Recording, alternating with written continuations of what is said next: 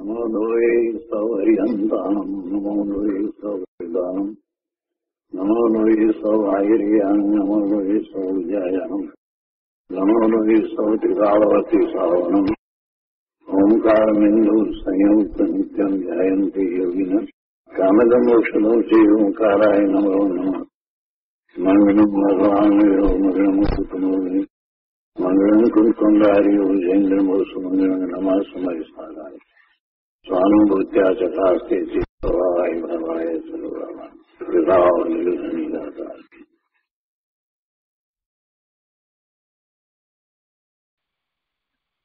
પુરુષાર્થ સિદ્ધિ ઉપાય.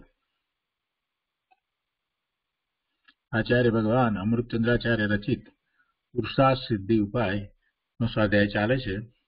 એમાં એકસો ચાર ગાથા સુધી સ્વાધ્યાય પૂરો કર્યો છે. હવે આજે ગાથા એકસો પાંચ લઈએ છીએ. ગાથા એકસો પાંચના અપોદઘાતમાં કહે છે કે હિંસા અને ચોરીમાં અતિવ્યાપ્તિ પણ નથી. અવ્યાપ્તિ નથી એ વાત ગાથા એકસો ચારમાં કરી. હવે અહીંયા કહે છે કે અતિવ્યાપ્તિ પણ નથી. તો ગાથા એકસો પાંચ. ન અતિવ્યાપ્તિ કારણ વિરોધાત. અપી કર્મા અનુગ્રહણે નિરાગાણામ અવિદ્યમાનત્વ ગાથાના અનુરાસમાં કહે છે કે જો નિરાગાણામ એટલે કે વિતરાગી પુરુષોને અને વિતરાગી પુરુષોને પ્રમત્ત યોગ ઐક કારણ વિરોધાત પ્રમાદ યોગ રૂપ એક કારણના વિરોધથી કર્માનુગ્રહણે દ્રવ્ય કર્મ નો કર્મની કર્મ વર્ગણાઓ ગ્રહણ કરવામાં અપી સ્તેયસ્ય અવિદ્યમાનત્વાત નિશ્ચયથી ચોરી ઉપસ્થિત ન હોવાથી તયો અતિવ્યાપ્તિહીન તે બંનેમાં, અર્થાંત હિંસા અને ચોરીમાં, અતિવ્યાપ્તિ પણ નથી. શું કહે છે અનુવાર્થની અંદર? કે અને વિતરાગી પુરુષોને પ્રમાદ યોગ રૂપ એક કારણના વિરોધથી વિતરાગી પુરુષોને પ્રમાદ યોગ રૂપ એક કારણના વિરોધથી, પ્રમાદ યોગ નો વિરોધ એટલે કે એ કારણ એમને નથી, પ્રમાદ યોગ નથી. વિતરાગી પુરુષોને પ્રમાદ યોગ નથી, બસ આ કારણ, એક કારણ. વિતરાગી પુરુષોને પ્રમાદ યોગરૂપ એક કારણના વિરોધથી એ એમને નથી, પ્રમાદ યોગ નથી. એટલે હવે શું થાય છે તો કે છે કે દ્રવ્ય કર્મ નવ કર્મની કર્મ વર્ગણાઓ ગ્રહણ કરવામાં નિશ્ચયથી ચોરી થતી નથી. કર્મ વર્ગણાઓ કારણ રજકણો ભેગા થાય કર્મ વર્ગણા બને તેવી કર્મ વર્ગણાઓ એને લીધે કર્મની પ્રકૃતિ બંધાય એટલે એમાં કર્મણે વર્ગણાઓ આવે એ ગ્રહણ થાય એમ કહેવામાં આવે. જીવને કર્મ બંધાય તો એમાં દ્રવ્ય કર્મ બંધાય કે દ્રવ્ય કર્મમાં કારણે રજકણો એની સમીપમાં આવે અને એવું કર્મ બંધાય. એટલે કારણે વર્ગણાઓ એ ગ્રહણ કરે એટલે કર્મ બંધાય.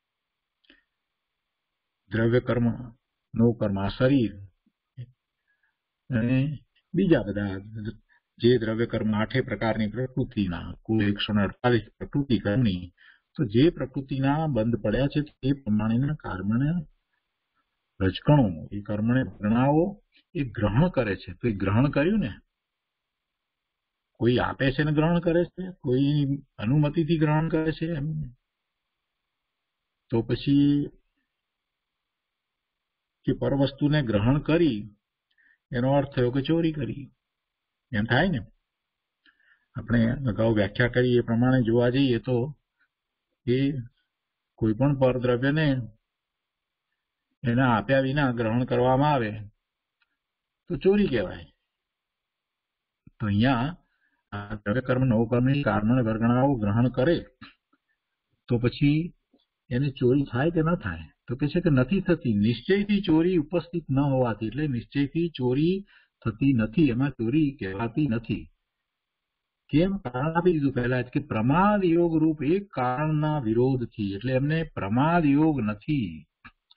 પ્રમાદ યોગ નથી એટલે આ કારણે વર્ગણાઓને ગ્રહણ કરે છતાં એ ચોરી કહેવાતી નથી. એ પદાર્થને થતું પરદ્રવ્યને ગ્રહણ કરે છે, તો પણ એ ચોરી કહેવાય નહીં. કેમ કે ગ્રહણ કરે છે તો એમાં એમને પ્રમાદ યોગ નથી. વિતરાગી પુરુષોને જયારે કર્મના બંધ પડે અને એમાં તો પછી હરિયન પરમાત્માની વાત લીધી છે, એમને પણ તાતા વેદનીયનો એક સમયની સ્થિતિનો બંધ પડે અને બીજા સમયે ભોગવાઈ જાય. અને બીજી રીતે પણ ઔદારિક શરીરમાં અમુક રચકણો આવે, આહાર ન લે છતાં પણ. તો એ આવે છે તો પછી શું થયું? એવા પૂતગળ પરમાણુઓ ને ગ્રહણ કરે છે. તો એ ચોરી કહેવાય કે ના કહેવાય? તો કે ન કહેવાય? કેમ? તો કે એવા એ વિતરાગી પુરુષોને પ્રમાદ યોગ નો વિરોધ એટલે નિરોધ છે. તો છે જ નહીં, પ્રમાદ યોગનો તો હવે પ્રમાદ યોગ તો ઉત્પન્ન થતો જ નથી.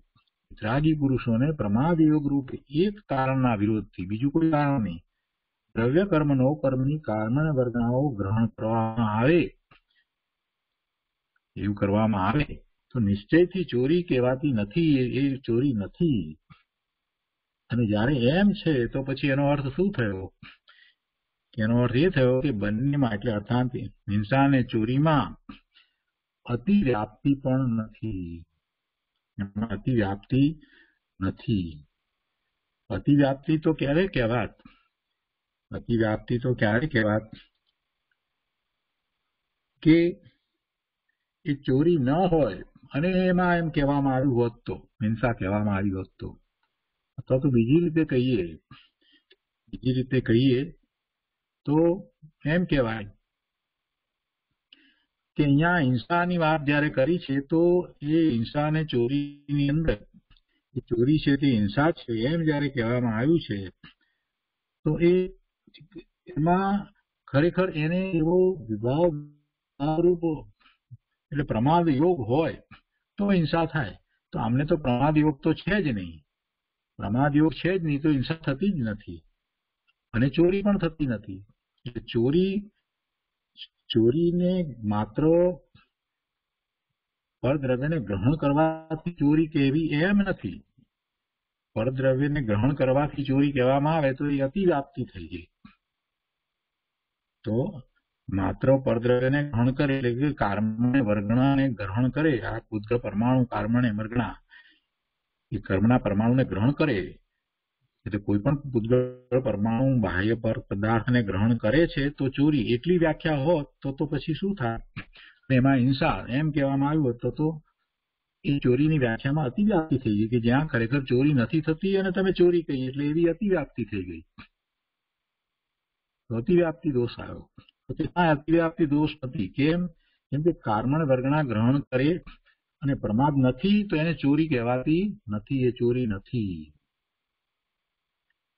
પ્રમાદ નથી. પ્રમાદ પૂર્વક એ પર પદાર્થને ગ્રહણ કરે છે તો એ ચોરી છે. અને પ્રમાદ છે એટલે સ્વભાવ ભાવથી ચ્યુત થયા છે એટલે સ્વભાવ ભાવની તો હિંસા થાય જ છે. તો આ રીતે બંનેમાં અર્થાત હિંસા અને ચોરીમાં અતિવ્યાપ્તિ પણ નથી. જેમ અવ્યાપ્તિ નથી એ વાત કરી, એવી રીતે અતિવ્યાપ્તિ પણ નથી. આ રીતે આના ગાથા કહેવામાં આવી છે. કેટલી સરસ વાત કરવામાં આવી છે. માત્ર એટલી વ્યાખ્યા લઈને બેસી જઈએ કે પરદ્રવ્યનું ગ્રહણ કરવું એટલે ચોરી, તો તો અતિવ્યાપ્તિ દોષ લાગે. પરદ્રવ્યનું ગ્રહણ તો આપણે બધા કરીએ છીએ. જે ભગવાનને પણ એવા પરમાણુનું ગ્રહણ થાય છે. કાર્બને વર્ગણાઓ ને ગ્રહણ કરે છે, તો શું ચોરી કહેવાય? ના, એમને તો પ્રમાદ યોગ નથી. આપણે ગ્રહણ કરીએ છીએ તો પ્રમાદ યોગ સહિત ગ્રહણ કરીએ છીએ. એમાં ફેર છે. તો ટીકામાં પંડિતજી એનો વિસ્તાર કર્યો છે, તે પણ આપણે સમજીએ. કે છે કે ચય તયો એટલે હિંસાસ્તેયો અતિવ્યાપ્તિ ચન ન અસ્તિ યતઃ નિરાકાણા પ્રમત એક કારણ વિરોધાત કર્માનુગ્રહણે અપી હિંસાયા અવિદ્યમાનત્વાત હિંસા અને ચોરીમાં અતિવ્યાપ્તિપણું નથી અર્થાત ચોરી હોય અને હિંસા ન થાય એમ નથી તથા હિંસા હોય અને ચોરી ન હોય એમ પણ નથી કેમ કે વિતરાગી મહાપુરુષોને અહીંયા મૂળ ગાથાની વાત તો આ છે. એના ઉપરથી આ તો એમણે સરવાળો લીધો કે હિંસા અને ચોરી માં અતિવ્યાપ્તિ પણ નથી એ મૂળ ગાથામાં કહ્યું ને પછી એમ એનો જે સરવાળો લીધો આખી ગાથાનો એમાં એમ કહ્યું કે અર્થાત કરીને જે વાત કરી કે ચોરી હોય અને હિંસા ન થાય એમ નથી તથા હિંસા હોય અને ચોરી ન હોય એમ પણ નથી. તો સરવાળો એમણે પંડિતજી લીધો. અહીંયા ગાથામાં તો આ વાત આવી છે હિંસા અને ચોરીમાં અતિવ્યાપ્તિ પણ નથી. કેમ કે વિતરાગી મહાપુરુષોને પ્રમાદ સહિત યોગનું કારણ નથી. પ્રમાદ સહિત યોગનું કારણ નથી. તે કારણે દ્રવ્ય કર્મ નો કર્મની વર્ગણાઓનું ગ્રહણ હોવા છતાં પણ ચોરીનો સદભાવ નથી. એમને ચોરીનો સદભાવ નથી. એમને વિશે ચોરી કહેવાતી નથી. દ્રવ્ય કર્મ, નો કર્મની વર્ગણાઓને તો ગ્રહણ કરે છે. છતાં પણ એ ચોરી કહેવાતી નથી. એમ કેમ કે પ્રમાદ નથી. પ્રમાદ ન હોવાથી.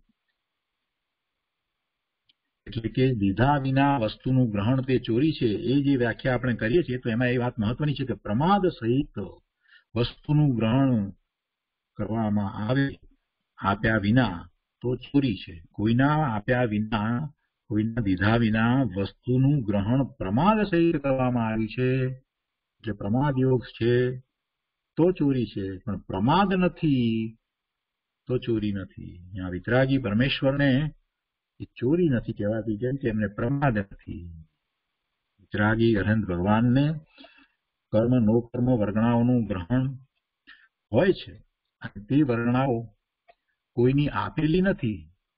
કોઈ આપે છે અને લીધી છે એમ તો નથી. માટે તેમને ચોરીનો પ્રસંગ આવે. પરંતુ પ્રમાદ અને યોગ વિના ચોરી હોતી નથી.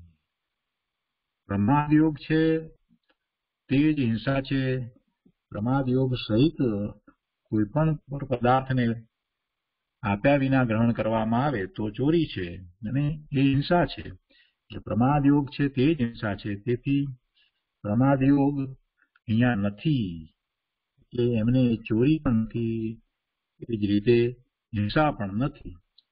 એટલે છે પ્રમાદ યોગ છે તે જ હિંસા છે. તેથી અતિવ્યાપ્તિપણું નથી. ત્યાં અતિવ્યાપ્તિપણું નથી. જો હિંસા પ્રમાદ વિના ચોરી થઈ શકતી હોત તો અતિવ્યાપ્તિ દોષ આવત. પણ તે તો અહીં નથી. માટે એ વાત સિદ્ધ થઈ કે જ્યાં હિંસા નથી, ત્યાં ચોરી પણ નથી અને જ્યાં ચોરી નથી, ત્યાં હિંસા પણ નથી. એ આ રીતે સરવાળો થાય છે. અતિવ્યાપ્તિ દોષ આવત. જો પ્રમાદ વિના પણ જો ચોરી હોત તો, પ્રમાદ વિના પણ હિંસા હોત તો. પ્રમાદ વિનાની હિંસાની વાત તો આપણે હિંસાની વાત સમજતા હતા ત્યારે હિંસા વિશેની જે વ્યાખ્યાઓ કરવામાં આવી એમાં આપણે સમજ્યા છીએ. પણ અહીંયા ચોરીની વાત જે લીધી છે, એમાં પ્રમાદ નથી અને એ ઉદ્ગળ પરમાણુને ગ્રહણ કરે છે આપ્યા વિના જ. તો ચોરીનો પ્રસંગ આવતો નથી, એ ચોરી કહેવાતી નથી, એ ચોરી નથી. પ્રમાદ નથી ને એટલે. જો ચોરી કહેવાય તો અતિવ્યાપ્તિ દોષ આવે. એ ચોરી કહેવાતી નથી એ અતિવ્યાપ્તિ દોષ નથી. અવ્યાપ્તિ દોષ નથી એ ગાથા એકસો ચારમાં સિદ્ધ કર્યું અને અહીંયા અવ્યાપ્તિ દોષ નથી એ ગાથા એકસો ચારમાં સિદ્ધ કર્યું અને અહીંયા હવે અતિવ્યાપ્તિ દોષ પણ નથી એમાં એકસો પાંચમી ગાથામાં સિદ્ધ કરે છે. એટલે એના ઉપરથી સરવાળો એ લીધો કે જ્યાં હિંસા નથી, ત્યાં ચોરી પણ નથી અને જ્યાં ચોરી નથી, ત્યાં હિંસા પણ નથી. બહુ સુંદર ગાથા છે. વિચાર કરવા જેવી ગાથા છે. આપણે જાણીએ જાણીએ કેટલી વસ્તુને આપણે લઈ લઈએ છીએ કે એમાં શું વાંધો, ક્યાં કોઈનું છે. આપણને ઉપયોગી થાય એવી છે એમ કરીને લઈ લઈએ છીએ ને, પણ એ એમાં ચોરીનો દોષ લાગે છે. કે પ્રમાદ સહિત આપણે એને ગ્રહણ કરીએ છીએ. તો ઉપર પછી ગુરુદેવ કાંજી સ્વામીએ જે વિસ્તાર કર્યો છે તે આપણે લઈએ. પુરુષાર્થ સિદ્ધિ પ્રવચન ભાગ બીજો. એમાં પાના નંબર ત્રણસો બે. ગુરુદેવ અહીંયા કહે છે કે હવે હિંસા અને ચોરી એમાં અતિવ્યાપ્તિ એટલે વધારે થઈ જાય છે, અતિરેક થઈ જાય એમ પણ નથી. ન હોય અને કહી દેવામાં આવે તો અતિરેક થઈ ગયો કહેવાય, વધારે વાત થઈ ગઈ કહેવાય. આ કારણે રચકણો ને ગ્રહણ કરે. કેવળી ભગવાનને પણ એવું કાર્મણ રચકણનું ગ્રહણ કરવું થાય, સાદા વેદનીયની પ્રકૃતિ બંધાય. ભલે એક સમયની છે, કેમ કે હવે કોઈ કસાય તો રહ્યા નથી. માત્ર યોગ છે, તો યોગને કારણે એવા કાર્મણ રચકણો આવે છે. તીર્થંકર ભગવાન, કેવળી ભગવાન, તેરમા ગુણસ્થાનની દશામાં છે. ત્યારે શરીર સહિત છે, સ્વરૂપમાં સ્થિર છે. એમને એક સમયનું સાતાવેદીનીય કર્મ બંધાય છે, બીજા સમયે ભોગવાઈ જાય અને એની નિજરા થઈ જાય છે. એક સમયનું. સમય નથી. વધારે સમય નથી થતા. કેમ? અનુબદ્ધ અને સ્થિતિબંધ નથી થતો. કેમ કે હવે એમને કસાય નથી, માત્ર યોગ છે. એટલે યોગ છે તો એ પ્રકૃતિ બંધ પડે છે અને પ્રદેશ બંધ પડે છે. પણ સ્થિતિબંધ અને અનુબંધ નથી પડતા. કર્મ બંધાય એમાં, કર્મનો પ્રકૃતિ બંધ હોય, પ્રદેશ બંધ હોય, એનો સ્થિતિ બંધ હોય અને એનો અનુભાગ બંધ હોય. તેમ ચાર વસ્તુ હોય, તો એમાંથી ચાર વસ્તુમાંથી એ પ્રકૃતિ બંધ તો બરાબર છે, કે કઈ પ્રકૃતિ? તો સાતા વેદની એની પ્રકૃતિ. અને એનો પ્રદેશ બંધ એટલે એવા પરમાણુનું આવવું. પણ એની સ્થિતિ, તો સ્થિતિબંધ જે થાય છે, કોઈ પણ કર્મનો સ્થિતિબંધ થાય અને એનો અનુભાગ એટલે કે ફળ આપવાની તીવ્રતા જે છે તે, એ બંનેનું કારણ તો કસાય છે. હવે કસાય તો રહ્યા નથી પ્રભુને, એટલે સ્થિતિબંધ નથી પડતો અને અનુભાગ નથી બંધ પડતો. એટલે માત્ર બંધ પડે છે તો શું છે? પ્રકૃતિનો બંધ છે અને પ્રદેશ બંધ છે. પ્રકૃતિ કેવી છે? સાતા વેદનીય એ પ્રકૃતિ છે. અને પ્રદેશ બંધ પડ્યો એટલે એવા કાર્મણે રજકણો, એવી કારમણે વળગણાઓનું આવવું થાય છે. પણ એ સમય વધારે નથી, સ્થિતિબંધ નથી, એટલે કે એક સમયનો થયો અને બીજા સમય તો એ ખરી જાય છે. પ્રભુભાઈને ખરી જાય છે. એટલે પ્રભુને સાતા હોય છે, દરેક સમય આમ થાય છે. તો એ વાતને ખ્યાલમાં રાખી અને આ ગાથાને સમજવાની છે. જેને આ કદાચ ખ્યાલમાં ન હોય, એને માટે આ સ્પષ્ટતા કરી. પ્રભુને કઈ રીતે બંધ પડે છે? તો અહીંયા ગુરુદેવ સમજાવે છે કે હવે હિંસા અને ચોરી એમાં અતિવ્યાપ્તિ એટલે વધારે થઈ જાય છે, અતિરેક થઈ જાય એમ પણ નથી. એટલે લાગુ ન પડે એમ નહીં. આ જે વાત લીધી છે એ લાગુ જ પડે છે. શું? અતિવ્યાપ્તિ નથી એમ. અને કે છે કે આગળ બીજાને લાગુ પડી જાય આને ન પડે એમ નથી. બહુ સરસ રીતે વાત લીધી છે. ગુરુદેવ એને વિસ્તારપૂર્વક સમજાવે છે કે એમને અતિવ્યાપ્તિ એમાં અતિવ્યાપ્તિ નથી. હૃદય કહે છે કે જુઓ, અહીં કહ્યું છે કે પેલામાં હે ઉપાદેય નાખ્યું હતું. અસત્યની વાત હતી ને, ત્યાં હે ઉપાધિની વાત કરી હતી ને, સ્પષ્ટતા તરીકે એક વાત આવી હતી ને જ્ઞાથાની અંદર શું વાત આવી હતી? કે જ્ઞાની પુરુષ ધર્માત્મા એ હે ઉપાદેયની વાત કરતા હોય, શું હે છે ને શું ઉપાદેય છે? શું ધર્મ છે, એની જો વાત કંઈક પણ કરતા હોય, તો એમાં એમ કહે કે આ મિથ્યાત્વ જે છે તે છોડવા જેવું છે. આ મિથ્યા માન્યતા આ પ્રકારે જે કંઈ છે તે છોડવા જેવી છે. આ બધું હોય નહીં, સમ્યક દ્રષ્ટિ હોય નહીં. એવી વાત કરે તો જેને જેને ધર્મની દ્રષ્ટિ નથી, એને એમાં દુઃખ લાગે.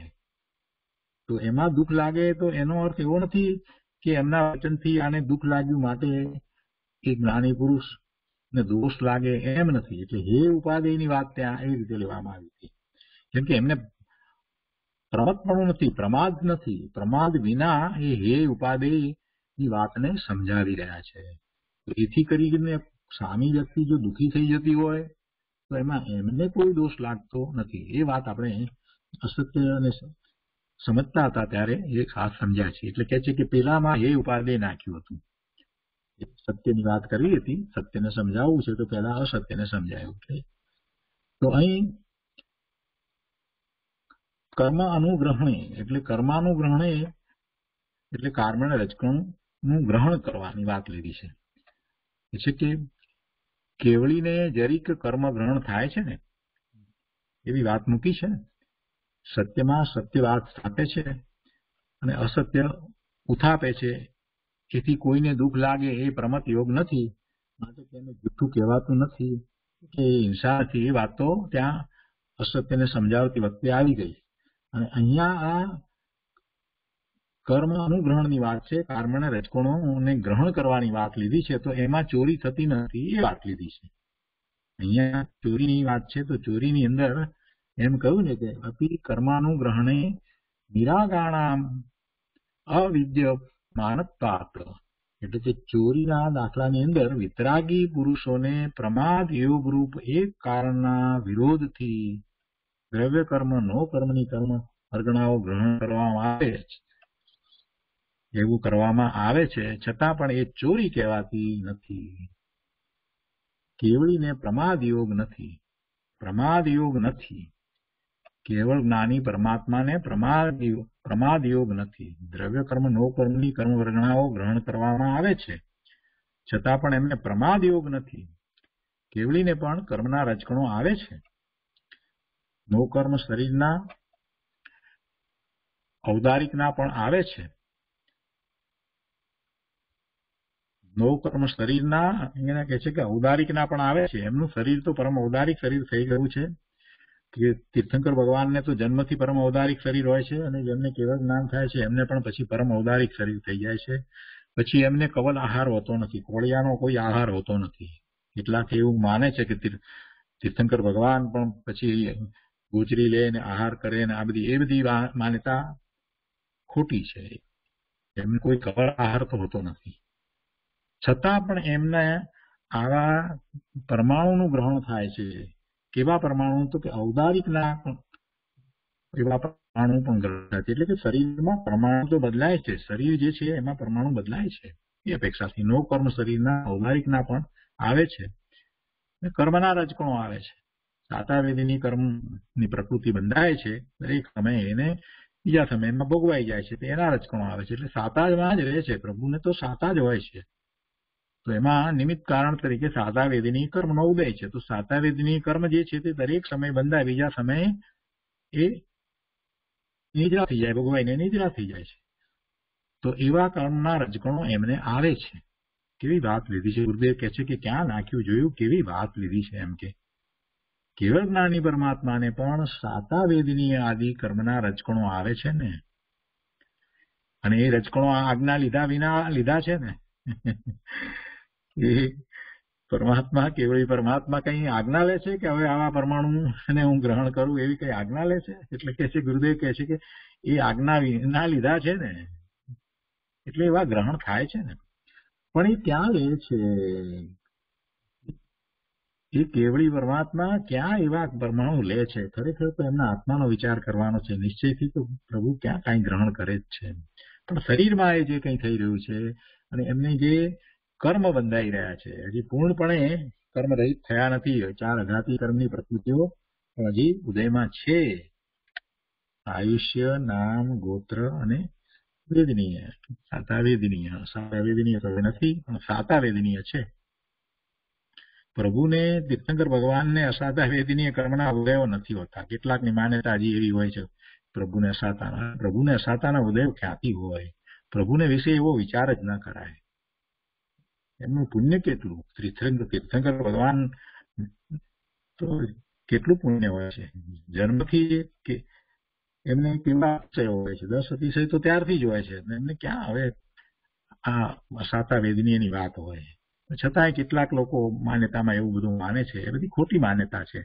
એટલે જે પ્રથમાનુયોગની જે કઈ વાત આવે ને, એને ગંભીરતાથી નહીં લેવી. કેમ કે પ્રથમાનુયોગ જે લખાયો છે, એમાં કલ્પના ઘણી બધી છે. કલ્પિત વાતો ઘણી લખાઈ છે, વાર્તાઓ ઘણી લખાઈ છે. પ્રથમાનુયોગમાં વાર્તાઓ ઘણી લખાઈ છે અને આખા ડાયલોગ લખવામાં આવ્યા. પછી પ્રભુએ આમ કહ્યું પછી આમ કહ્યું આમ કહ્યું ભાઈ, તમે ક્યાં સાંભળ્યા હતા? તો સ્મારકમાં એવું લખાયું અને લોકોને રસ એને જ ધર્મ માને. બસ એની જ વાત કરે. તમે ધર્મની વાત લાવો એટલે તરત જ કંઈક ઉદાહરણ આપીને એની જ વાત લાવે. એટલે ક્યારેય પડવું નહીં. એ પ્રથમાન યોગની વાત જે છે એની સંબંધીની ચર્ચાઓ હોય નહીં. તત્વની ચર્ચા હોય, તત્વ વિચારણા હોય, તત્વની વાતમાં ફેર ન હોય દ્રવ્યાન યોગની વાત હોય કરણાન યોગની વાત હોય, એમાં ક્યાંય કોઈ રીતે ફેર હોય નહીં. એ મત હોય નહીં, બે પ્રકાર હોય નહીં. અને ચરણાનુયોગની અંદર તો આચાર્ય ભગવાન આપણને કે, કેવું ચારિત્ર હોય, સમ્યક દ્રષ્ટિને જુદી જુદી ભૂમિકામાં એ સમજાવે છે. એટલે કે શ્રાવકને કેવું ચારિત્ર હોય, મુનિને કેવું ચારિત્ર હોય, એની બધી વાત કરવામાં આવી હોય છે. પણ પ્રથમાનુયોગ માત્ર પ્રેરણા માટે છે એમ સમજવાનું. પ્રથમાનુયોગની જે વાત જે છે એમાં પ્રભુનું જીવન ચરિત્ર એવા સલાકા પુરુષના જીવન ચરિત્ર વગેરે જે છે એ દ્વારા માત્ર પ્રેરણા લેવાની છે કે એ પણ આ બધું છોડી અને એ આવા પરમાર્થના માર્ગે ચાલી નીકળ્યા હોય. એમાંથી પ્રેરણા લેવાની હોય. પણ એના સંબંધીના ડિસ્કશનો કરી અને વિરોધાભાસ ઉત્પન્ન નહીં કરવા, કેમ કે એ બધી વાત જે છે, એમાંની કેટલી બધી વાતો કલ્પિત હોય છે. એમાંની એક વાત આવી પણ ચાલે છે કે તીર્થંકર ભગવાન પણ પછી આહાર લેવા માટે થઈને ગોચરી લેવા માટે ગયા અને કોઈ આહાર આપ્યો ને આ બધું, એવું બધું હોતું જ નથી. એમને કોઈ અસાતા વેદની કર્મના ઉદયને કારણે થઈને એમના શરીરમાં આમ થઈ ગયું તેમ. અરે, એમ હોય નહીં, કેવળ જ્ઞાન થયા પછીથી તો જે તીર્થંકર નથી ને સામાન્ય કેવળી છે, એને પણ એનું શરીર પરમોદારિક થઈ જાય છે. અને તીર્થંકર ભગવાન જે છે, એ તો જન્મથી જ પરમોદારિક શરીરને શરીર લઈને આવ્યા હોય છે. એટલે એમને ક્યાં એવા રોગ વગેરે કંઈ થાય? એમને રોગ થવો એવું એવું બોલાય પણ નહીં. પ્રભુને વળી રોગ, એમના શરીરમાં રોગ એવું બોલાય નહીં. પ્રથમાની યોગની અંદર આ બધી કલ્પિત વાતો ઘણી લખવામાં આવી છે. એને બધી વાતોને આપણે સાચી સાચી ન માનવી, પણ સિદ્ધાંત પ્રમાણે એનો વિચાર કરવો. અને એ વાતમાં આગળ ડિસ્કશનોમાં ઉતરવાની જરૂર નથી.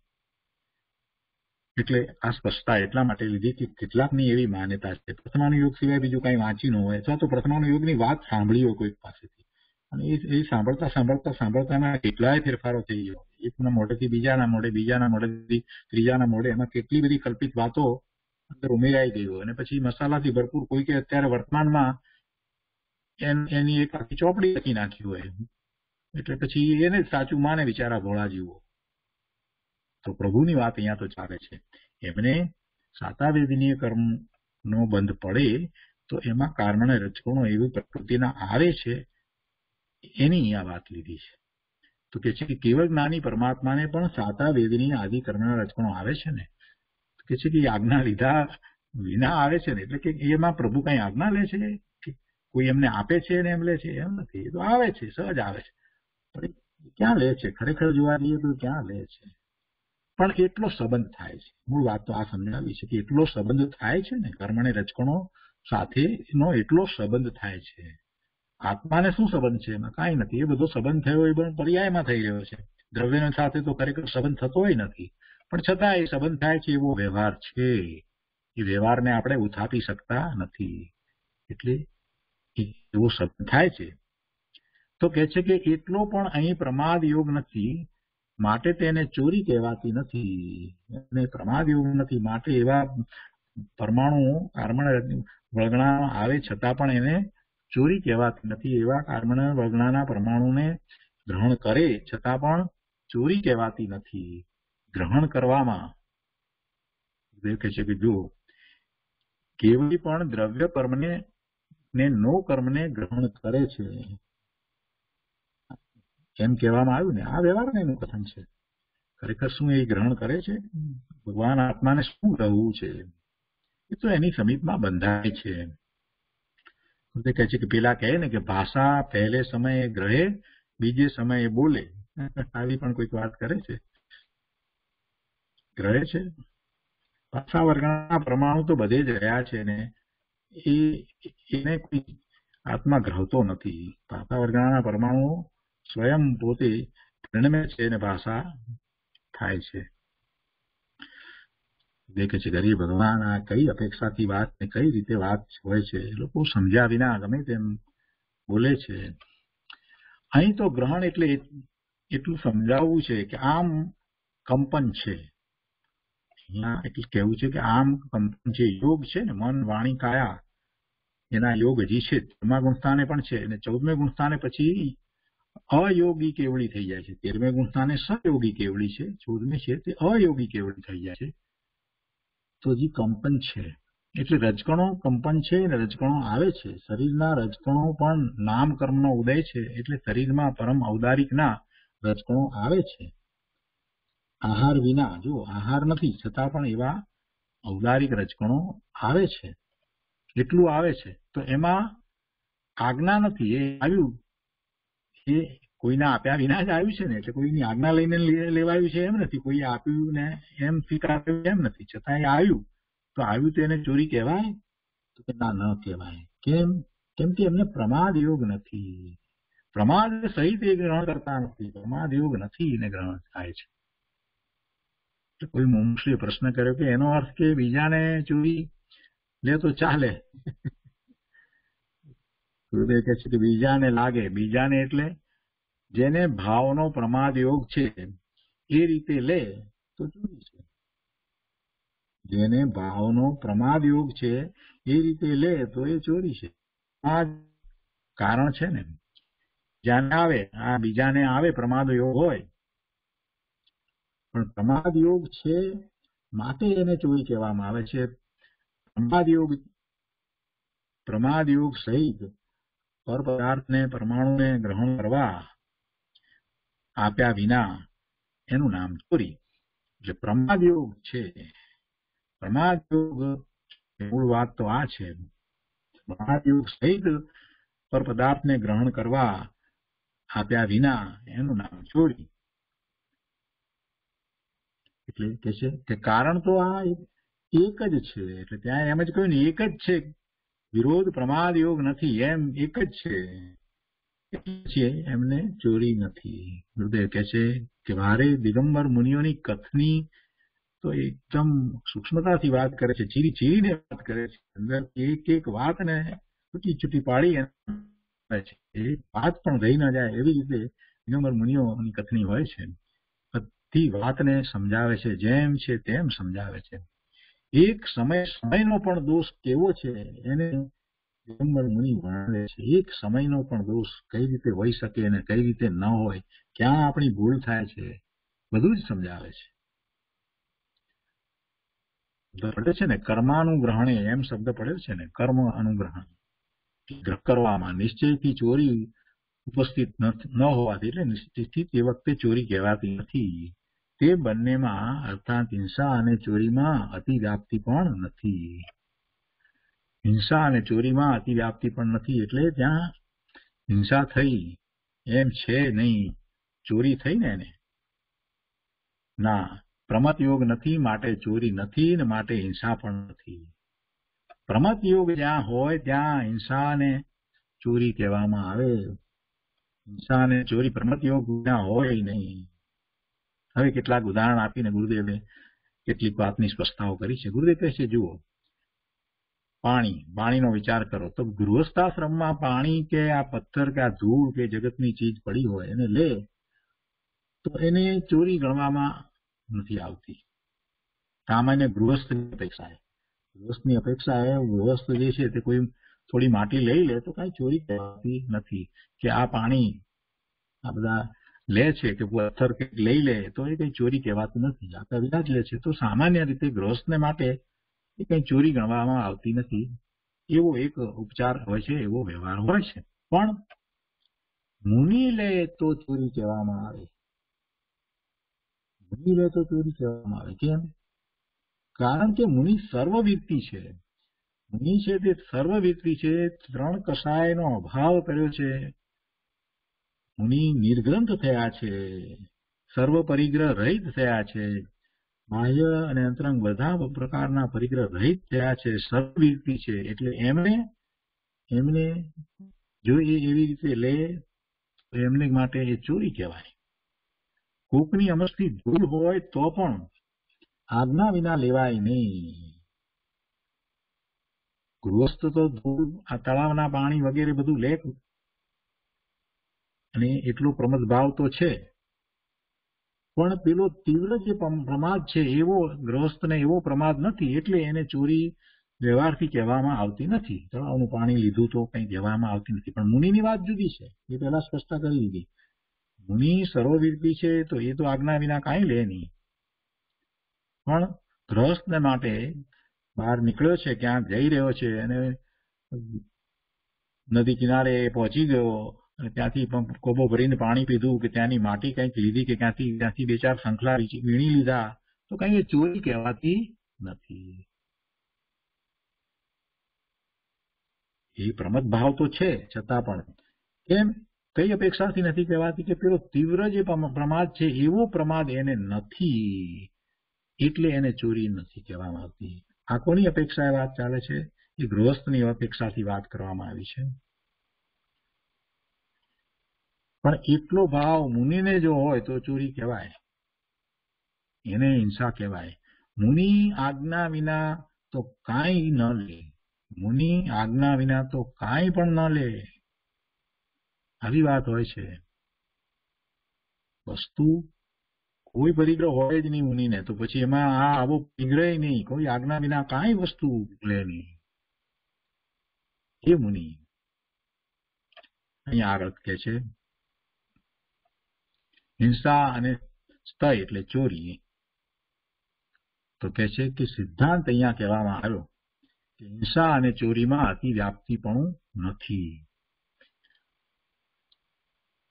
અર્થાત ચોરી હોય અને હિંસા ન થાય એમ નથી તથા હિંસા હોય અને ચોરી ન હોય એમ પણ નથી.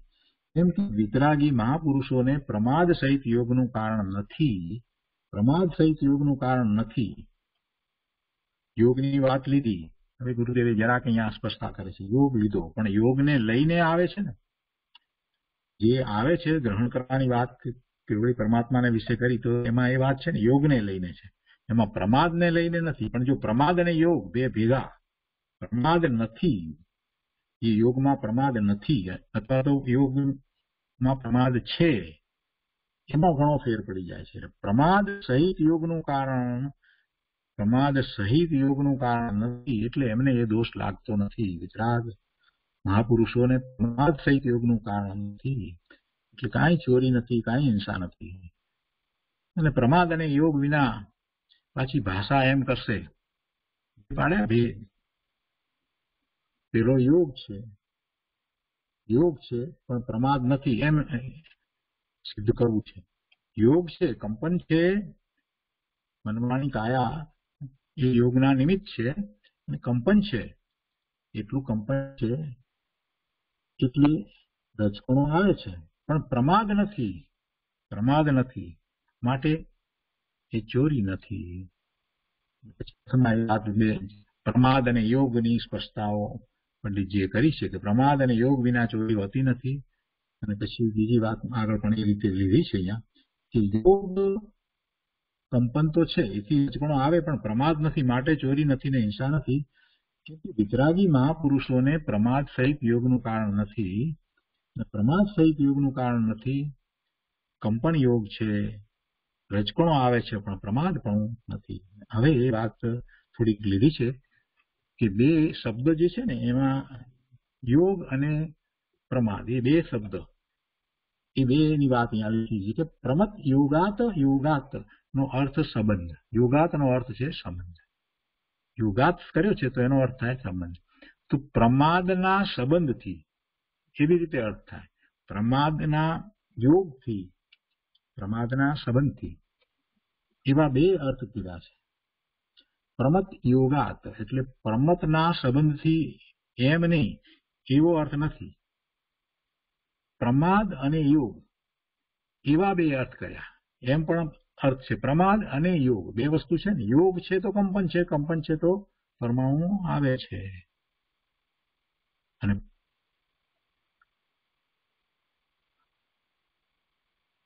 પ્રમાદ ના સંબંધથી એમ ભેગું લઈને કરીએ તો એમ અર્થ થાય છે. અને પેલું પ્રમાદ અને યોગ એમ બે અર્થ કર્યા છે. પ્રમત યોગ એમ શબ્દ છે ને, તેમાંથી આ અર્થ કાઢ્યા છે. પ્રમાદના સંબંધથી પણ આણે આમ કર્યું. પ્રમત યોગાત પ્રમાદના સંબંધ વાળો જે યોગ એ રીતે. અને પ્રમાદ અને યોગ એવું બે કહ્યું ટોડરમલજીએ ખુલાસો કર્યો. એટલે માટે એમ વાત પ્રમત યોગાત પ્રમાદના યોગથી સંબંધથી પ્રાણની હિંસા છે. અહીંયા યોગ છે એટલે કંપન છે ને રચણો આવે છે. એટલે રચકણો આવે છે. તો રચકણો આવે છે તો એ પ્રમાદ સહિત નથી. એ યોગ જે છે બીજી રીતે કહીએ તો એમાં એ અર્થ પણ સાથે નીકળે છે કે પ્રમાદ સહિત નથી, એટલે પ્રમાદ સાથે નથી. પ્રમાદ સહિત યોગનું કારણ નથી. એમ નાખ્યું, એમ જુદું પાડ્યું. તે કારણે દ્રવ્ય કર્મ, નો કર્મની વર્ગણાઓનું ગ્રહણ હોવા છતાં યોગ પણ છે અને પેલું છે. પ્રમાદ નથી. વર્ગણાઓનું ગ્રહણ થયેલો અર્થ યોગ છે યોગ છે એટલે કંપન છે. છતાં પણ ચોરીનો સદભાવ નથી. ત્યાં ચોરી કહેવાતી નથી. પ્રમાદ ન હોવાથી ચોરી કહેવાતી નથી. પ્રમાદ ન નથી. એટલે દીધા વિના વસ્તુનું તે ચોરી છે. એ જે વાત લેવામાં આવી હતી તો એમાં સાથે પ્રમાદ હોય તો તો એ ચોરી કહેવાય. એટલે એ પ્રમાદનો સદભાવ નથી. પ્રમાદ ન હોવાથી દીધા વિના વસ્તુનું ગ્રહણ એ ચોરી છે. એ એમને લાગુ પડતું નથી કે એમને પ્રમાદ નથી. વિતરાગી અરેન્જ ભગવાનને કર્મ નો કર્મ વર્ગણાઓનું ગ્રહણ હોય છે અને તે વર્ગણાઓ કોઈની આપેલી નથી. માટે તેમને ચોરીનો પ્રસંગ આવે, પરંતુ પ્રમાદને યોગ વિના ચોરી હોતી નથી. ટોલરમલજીએ શાંતિથી આ ટીકા લખી છે. તો કહે છે કે પ્રમાદ યોગ છે તે જ હિંસા છે. પ્રમાદ યોગ છે તો જ હિંસા છે. એ હિંસાની વાતમાં પણ આવી ગયું, અહીંયા પણ એ વાત આવી ગઈ. મૂળ વાત એ છે કે કસાય યોગ છે તે જ હિંસા છે. ગુરુદેવે બહુ સરસ અહીંયા વાત મૂકી છે કે કસાય યોગ છે તે જ હિંસા છે. અહીંયા તો એ વાત લીધી કે અહીંયા પણ અતિવ્યાપ્તિપણું નથી. ત્યાં હિંસા લાગુ પડી જાય છે એમ નથી. અતિવ્યાપ્તિપણું નથી એટલે કે હિંસા લાગુ પડે એમ નથી. કેમ કે પ્રમાદ નથી એટલે. જો હિંસા પ્રમાદ વિના ચોરી થઈ શકતી હોત તો અતિવ્યાપ્તિ અતિવ્યાપ્તિ દોષ નથી હિંસા પ્રમાદ વિના ચોરી થઈ શકતી હોત તો અતિવ્યાપ્તિ દોષ આવે પણ તે તો અહીં નથી માટે એ વાત સિદ્ધ થઈ કે જ્યાં હિંસા નથી ત્યાં ચોરી પણ નથી ત્યાં હિંસા નથી ત્યાં ચોરી પણ નથી અને જ્યાં ચોરી નથી હિંસા પણ નથી એટલે આ રીતે અતિવ્યાપ્તિ દોષનો અહીંયા નિષેધ કર્યો અતિવ્યાપ્તિ દોષ નથી અતિવ્યાપ્તિ દોષ નથી. આ રીતે આ અવ્યાપ્તિ અને અતિવ્યાપ્તિ દોષ નથી એ વાત સમજાવી હિંસા અને ચોરીની અંદર. તો એ રીતે આપણે ગાથા એકસો પાંચનો સ્વાધ્યાય અહીંયા પૂરો કરીએ છીએ. હવે એના પછી ગાથા એકસો છ છે. ચોરીના સંબંધમાં આ છેલ્લી ગાથા છે. અચૌર્ય વ્રત છે. તો અચૌર્ય વ્રતને માટે ચોરી કોને કહેવાય એ જ્યાં સુધી સમજે નહીં, ત્યાં સુધી એ વ્રત કેવી રીતે પાળી શકે? એટલે આચાર્ય ભગવાને કરુણા કરી અને આપણને ચોરી કોને કહેવાય એ સમજાયું, અસત્ય કોને કહેવાય એ સમજાયું, હિંસા કોને કહેવાય એ સમજાયું. એટલે કોઈ પણ વ્રતને પાળવું છે એટલે કે વ્રત રાખવું છે તો વ્રતને માટે થઈ અને એનું સ્વરૂપ સમજવું જોઈએ ને કે હિંસા તો હિંસા કયા પ્રકારે થાય? એને ખ્યાલ જ નથી કે આમાં હિંસા થઈ રહી છે. અને હિંસાનું માટે વ્રત લઈને બેઠો, અહિંસાનું વ્રત લઈને બેઠો છે, પણ એને અહિંસા ક્યાંથી રહે? પડાશે એવી જ રીતે સત્ય આચરણનું વ્રત લઈને તો બેઠો, પણ અસત્ય શું છે એ ખબર નથી, તો એ સત્ય આચરતો છે તો એને તો ખબર નહીં પડે. એવી રીતે ચોરી, ક્યાં ચોરી થાય, કઈ રીતે ચોરી કહેવાય એ જાણ્યા વિના એ અચોરી ભાવ કેવી રીતે પ્રગટ કરશે? એટલે આ બધું આચાર્ય ભગવાને બહુ કરુણા કરી અને સમજાવ્યું છે, સૂક્ષ્મતાથી સમજાવ્યું છે. એ વાત આપણે પણ લક્ષમાં રાખવાની છે. કેમ કે આ શ્રાવકને માટે વાત કરી છે અહીંયા. સમ્યક દ્રષ્ટિને જેને સમ્યક દર્શન થયું છે, એને બાહ્યમાં આચાર કેવા હોય એની વાત કરી છે. પાંચમા ગુણસ્થાનની રસામાં બાહ્ય ચારિત્ર કેવું હોય એની વાત ચાલે છે. તો હવે આગળ ગાથા એકસો છ માં ચોરીના ત્યાગનો પ્રકાર. એ અસત્યના ત્યાગનો પ્રકાર કરીને વાત કરવામાં આવી હતી અહીંયા ચોરીના ત્યાગનો પ્રકાર એમ કહીને વાત કરે છે. તો ગાથા એકસો છ. અસમર્થા એ કર્તુમ નિપાનતો યા વિહરણ વિનિવૃત્તિમ. તૈરપી સમસ્તમ પરમ નિત્યમ પ્રદત્તમ પરિત્યાયમ. અર્થમાં કહે છે કે જેઓ નિપાનતો યા હરણ નિવૃત્તિમ એટલે બીજાના કુવા વાવ આદિ. જળાશયોનું જળ વગેરેનું ગ્રહણ કરવાનો ત્યાગ. કર્તુમ કરવાને અસમર્થ અસમર્થ છે તૈ અપી અપરમ સમસ્તમ તેમણે પણ અન્ય સર્વ અદત્તમ નિત્યમ પરિત્યાયમ વિધા વિનાની વસ્તુઓ ગ્રહણ કરવાનો હંમેશા ત્યાગ કરવો યોગ્ય છે. શું કહે છે? કે જેઓ બીજાના કુવા, વાવ આદિ જળાશયોનું જળ વગેરેનું જળ વગેરે કહ્યું એટલે બીજી બધી વસ્તુ પણ એવી આવી ગઈ કે જે ગ્રહણ કરવાનો ત્યાગ કરી શકવાને અસમર્થ છે. એનો ત્યાગ કરી શકે એમ નથી. બીજાના કુવા, વાવ આદિ જળાશયોનું જળ વગેરેનું ગ્રહણ કરવાનો ત્યાગ કરવાને અસમર્થ છે. તેમણે પણ અન્ય સર્વ, એટલે આ જે કયા એના સિવાયના બાકીના બધા અન્ય સર્વ લીધા વિનાની વસ્તુઓ ગ્રહણ કરવાનો હંમેશા ત્યાગ કરવો યોગ્ય છે. એટલે કે કેટલીક વસ્તુનો ત્યાગ એ કરી શકે એમ નથી. એટલે કે આ બી આ કુવાના પાણી વગેરે, જળાશયના પાણી વગેરે, આ બધું જે ગ્રહણ કરે છે તો એને ચોરી કહેવાય કે ના કહેવાય? આપ્યા વિના ગ્રહણ કરે, લઈ લે છે, પાણી લે છે તો? કે છે કે આ જે ગ્રહસ્થ છે એને માટે એ શક્ય નથી. એટલે એવું એ જળાશયનું જળ વગેરે ગ્રહણ કરે એ ન ગ્રહણ કરે એમ શક્ય નથી. એને ગ્રહણ કરવું પડે. એટલે એવું ગ્રહણ કરવાનો ત્યાગ કરવા માટે એ અસમર્થ છે. પણ એ સિવાય બીજી બધી વસ્તુઓ આપ્યા વિના લેવી, એ તો ચોરી કહેવાય તો એનો તો હંમેશા એને ત્યાગ કરવો જોઈએ. અન્ય સર્વ અદત્તમ દીધા વિનાની વસ્તુઓ ગ્રહણ કરવાનો તો હંમેશા એને ત્યાગ હોવો જોઈએ, કરવો યોગ્ય છે.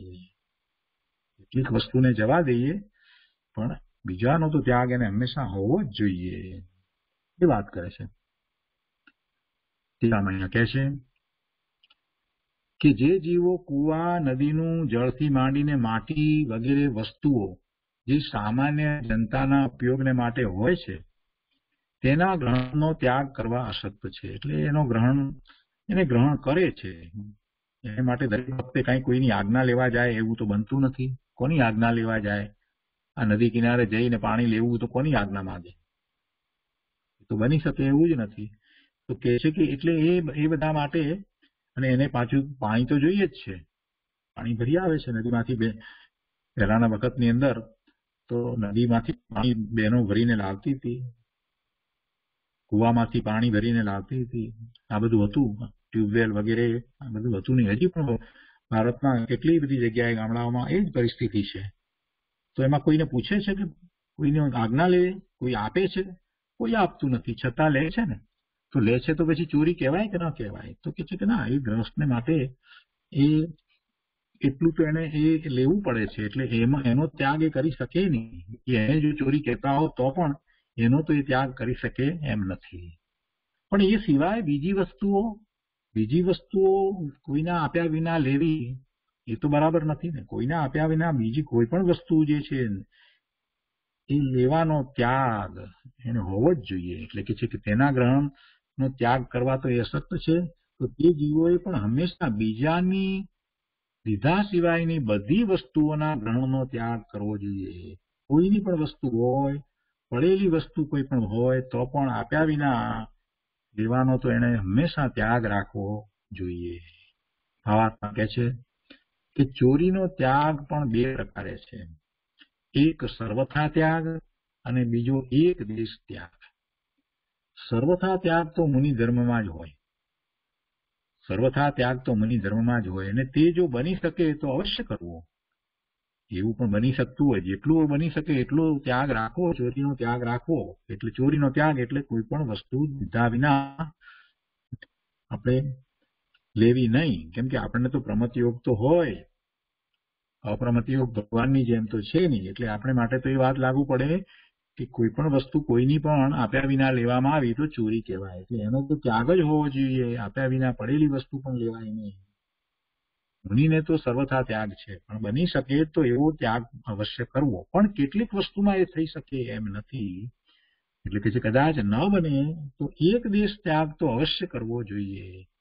શ્રાવક કુવા, નદીનું પાણી, ખાણની કે એની કઈ માટી વગેરે કોઈને પૂછ્યા વિના ગ્રહણ કરે, તો પણ ચોરી નામ પામે નહીં. એટલે વ્યવહારથી એને ચોરી ન કહેવાય, નિશ્ચય અપેક્ષા તો એ પણ એક ચોરી કહેવાય. પણ ગ્રહસ્થને માટે વ્યવહારથી એને ચોરી કહેતા નથી. એટલે કે એમાં એને ચોરીનો દોષ લાગતો નથી. જે સમ્યક દ્રષ્ટિ છે, જે પાંચમા ગુણસ્થાનની દશામાં છે, તો એના ગુણસ્થાનને એમાં ચોરીનો દોષ લાગે અને એમાં વાંધો આવે એમ થતું નથી. અને જો મુનિ તેને ગ્રહણ કરે, તો ચોરી નામ પામે. કેમ કે એ તો સાતમા, છઠ્ઠે ભૂલતા મુનિરાજ છે. એ તો સર્વ વ્યક્તિ છે. એમને તો પરિગ્રહ નો સર્વથા ત્યાગ કર્યો છે. તો આ સ્પષ્ટતા આ ગાથા દ્વારા કરવામાં આવી. એટલે કેવો ત્યાગ હોવો જોઈએ? એક સર્વથા ત્યાગ અને બીજો એક દેશ ત્યાગ. તો એક દેશ ત્યાગ રસને હોવો જોઈએ. તેનો ચોરીનો એક દેશ ત્યાગ. તો આ ગાથા ઉપર પછી ગુરુદેવ કાંજી સ્વામીએ જે વિસ્તાર કર્યો છે, એ આપણે સમજીએ. ગાથા એકસો છ પુરુષાર્થ સિદ્ધિ ઉપાય પ્રવચન, ભાગ બીજો, એના પાના નંબર ત્રણસો છ. ગુરુદેવ કહે છે કે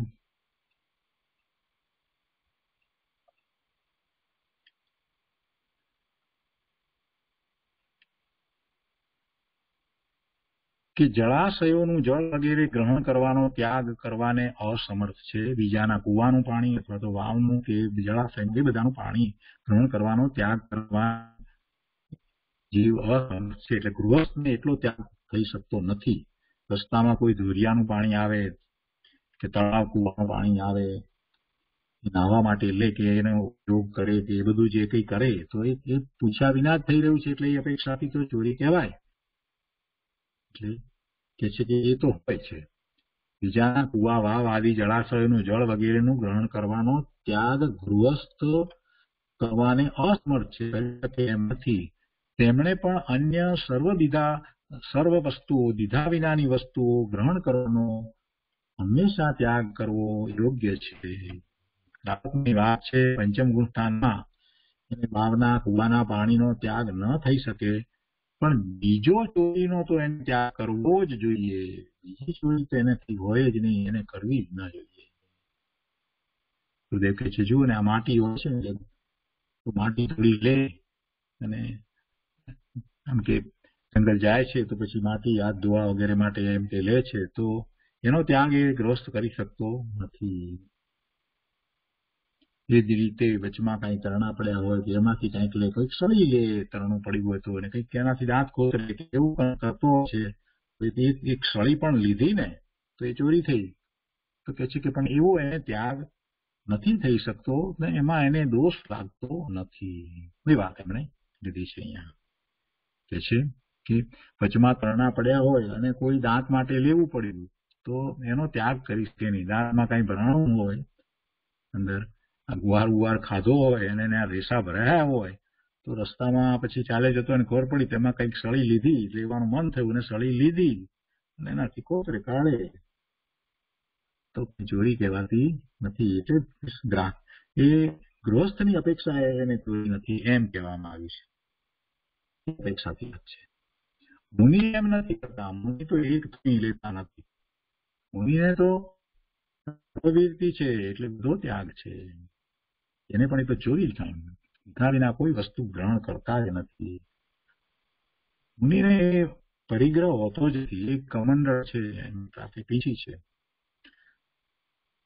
સૂચિનું સાધન શુદ્ધતા માટેનું બાહ્ય શુદ્ધતાનું સાધન રૂપે એક કમંડળ હોય છે અને આ જીવને ક્યાંય કોઈ રીતે દુઃખ ન પહોંચે માટેનું એ સાધન જે છે તે પીંછી હોય છે. એ સિવાય આપણે શાસ્ત્ર એમને દાનમાં આપીએ, શાસ્ત્રનું દાન કરીએ. એટલે મુનિની પાસે શાસ્ત્ર હોય છે, પણ શાસ્ત્ર એ કઈ પરિગ્રહ નથી. રાખી મૂકે એવું નથી થતું. શાસ્ત્ર એ એ પોતાની સાધનાને માટે એ શાસ્ત્ર રાખે છે અને પછી અભ્યાસ કરે છે અને પાછી પાછું આપી પણ દે છે. એમને કઈ શાસ્ત્રની એવી નથી રૂચિ લખાઈ થઈ જતી કે એમાં એ પોતાનું નામ લખી દે આ મારું જ છે ને કોઈ ન લઈ જતા આવું કઈ હોતું નથી. કે એમને કોઈ પરિગ્રહ એવો કોઈ હોતો નથી. તો પછી આવી કોઈ પણ વસ્તુ બાહ્ય કોઈ પણ વસ્તુ રાખવાનો પરિગ્રહ એમને હોય નહીં. એવો પરિગ્રહ એમને હોતો નથી. એટલે એ રાખે નહીં એ રહે તો એ પોતે એમ માને છે કે આ ચોરી કહેવાય. દીધા વગર કોઈના આપ્યા વગર એવી રીતે લઈ લીધું હોય તો પણ એ ચોરી કહેવાય. એટલે એ વાતને અહીંયા સ્પષ્ટ કરી છે કે અમુક વસ્તુનો ત્યાગ કરવા માટે ગ્રાહક ગૃહસ્થ અવસ્થામાં એ અસમર્થ છે. સામાન્ય જનતા માટે માટી, પાણી, સળી વગેરે જે કંઈ હોય, તો એના ગ્રહણનો ત્યાગ કરવા ગૃહસ્થ અશક્ત છે. પણ તે જીવોએ પણ હંમેશા બીજાની દીધા સિવાયની બધી વસ્તુઓના ગ્રહણનો ત્યાગ કરવો જોઈએ. કોઈ પણ વસ્તુ કોઈના દીધા વિના ગ્રહણ કરવી નહીં. એવો ત્યાગ કરવો જોઈએ. આમ ચોરીનો ત્યાગ થાય. એટલે કે છે કે આ સિવાયની બીજી ચીજો વગર દીધે લેવી, એનો તો ત્યાગ અવશ્ય કરવો જોઈએ.